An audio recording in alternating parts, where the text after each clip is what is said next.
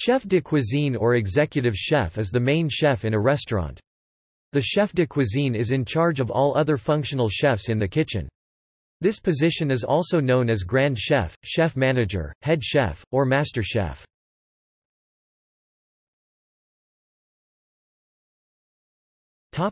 Function